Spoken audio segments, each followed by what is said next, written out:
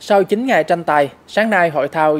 võ chiến đấu tay không các câu lạc bộ võ thuật toàn quân năm 2023 đã bế mạc và đến dự có Thượng tướng Nguyễn Văn Nghĩa, Phó Tổng tham mưu trưởng Quân đội Nhân dân Việt Nam, trưởng ban tổ chức hội thao.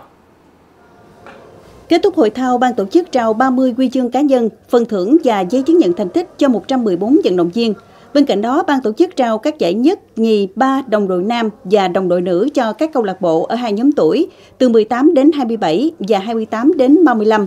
Hội thao năm nay, giải nhất toàn đoàn thuộc về câu lạc bộ Trường Sĩ Quan Đặc Công, giải nhì thuộc về câu lạc bộ Bộ Chỉ huy Quân sự tỉnh Đồng Nai và giải ba thuộc về câu lạc bộ Bộ Tham mưu Quân khu 7. Hội thao diễn ra hàng năm, khẳng định bước phát triển mới của nội dung võ chiến đấu tay không trong quân đội, thể hiện rõ tinh thần luyện tập võ thuật để rèn luyện, nâng cao thể lực, trí lực, ý chí của cán bộ chiến sĩ, đáp ứng với yêu cầu ngày càng cao của sự nghiệp xây dựng và bảo vệ Tổ quốc, cũng như xây dựng quân đội nhân dân cách mạng chính quy, tinh nhuệ, từng bước hiện đại.